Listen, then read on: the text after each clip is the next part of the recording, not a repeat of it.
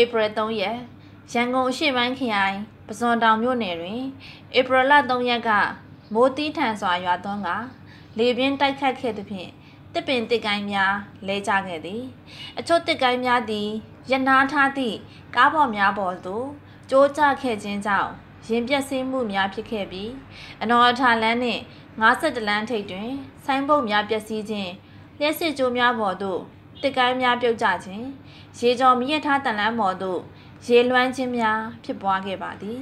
အဆိုပါအပျက်စီးများကိုသက်ဆိုင်ရာဝန်ထမ်းများကလိုက်လံရှင်းလင်းဖယ်ရှားခဲ့ကြသည်ရည်ညွှန် MOI web portal မြန်မာ as source https/go.gl/fmhvqn